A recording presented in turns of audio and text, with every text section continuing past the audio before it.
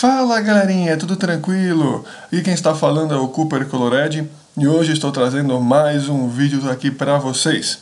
Hoje eu vou fazer um vídeo resposta respondendo uma pergunta que todo mundo me pergunta. Notebook serve para jogos? Qual notebook eu compro? Bom, resposta é curta e grossa e na lata. Não, notebook não serve para jogos salvo raras exceções. Por que não serve para jogos? Ele não tem a refrigeração adequada, Jogo é uma coisa muito exigente quanto à máquina, tá? E o computador ele precisa refrigerar bem para poder aguentar um jogo, ter uma placa de vídeo boa e refrigerada para poder aguentar o jogo. Notebook não tem isso. Ah, mas Cooper, eu comprei um notebook que tem placa off-board.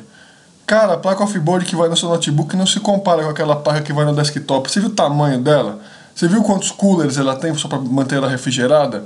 Cara, não é a mesma coisa. Vai, pode até rodar alguns jogos pesados no seu notebook, mas repara o quanto ele esquenta. Não é a mesma coisa, gente. Você vai acabar com a sua placa-mãe, o chipset da sua placa-mãe vai pular para fora, cara. Você vai ter que depois fazer uma solda BGA nesse seu chip de vídeo. Notebook não é feito para jogos.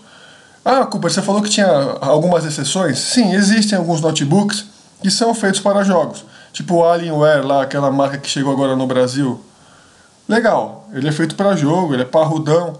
Só que ele custa 7 mil reais, eu acho que o mais barato, se eu não estiver falando besteira. 7 mil reais. Com 7 mil reais você monta um desktop ultra monstro para poder jogar seus jogos aí, rodar GTA V no máximo com um desktop de 7 mil reais. Certo? Tudo bem, você perde a mobilidade que o notebook pode te dar. Eu acho o Alienware uma coisa linda, aquele notebook. Porém, não sei se vale a pena gastar todo esse dinheiro nele. Se você precisa se mover muito, você precisa se locomover e jogar, tudo bem. E tem dinheiro, evidente, compre um Alienware. Tirando o Alienware, nenhum notebook desses é feito para jogo, tá? Jogos leves, tudo bem, você até roda no seu notebook, tranquilo. Mas jogos da, dessa geração mais pesados, como por exemplo, vai, um Battlefield 4, vamos ver outro aí, uh, Dark Soul, que vai lançar o 3 aí, esses jogos mais parrudões, não vai rodar legal no seu notebook. E mesmo que rode, você vai forçar ele demais. Com o tempo você vai ter problema de hardware né, nele. Notebook não serve para jogo, tirando a exceção do Alienware. Mas mesmo assim, Cooper, eu já tenho notebook que eu quero jogar. Tem jogos que rodam no seu notebook. Como por exemplo, deixa eu pôr aqui. Minecraft, League of Legends, MOBA. Jogos de MOBA geralmente são jogos leves. Seu notebook aguenta jogar, rodar, desculpa, aguenta rodar esses tipos de jogos. Ó, outro jogo de MOBA aqui, Heroes of Storm, você vai conseguir jogar. Terraria, Terraria é um jogo que roda. Você vai ter que ficar nesses jogos mais leves, entendeu? Que, não, não que não sejam legais, porque serem mais leves. Mas você vai ter que ficar nesses tipos de jogos para não comprometer o hardware do seu notebook. Certo? Então, respondendo, não, notebook não serve para jogo, tá? Na minha opinião, não serve. Eu arrumo notebook todo dia. Muita gente traz notebook ali com chipset com problema, por quê?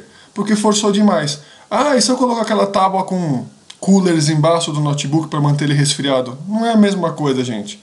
Põe na cabeça, vai gastar dinheiro, compra um desktop para jogar. Certo? Falei aqui alguns jogos, esses tipos de jogos como Terraria, esses MOBAs, rodam em notebooks. Não em todos, inclusive, tá? Mas na maioria roda. Esses jogos não tem problema, mesmo assim, pode aquecer sua máquina, porque como eu disse, notebook não é feito para jogo, certo? Se gostaram da dica, se gostaram do vídeo, por favor deixe um like, um curtir. Se são novos aqui querem se inscrever no canal, vai ser um prazer ter vocês aqui como inscritos. Estou sempre fazendo vídeo para ajudar a galera. Valeu, muito obrigado e até mais.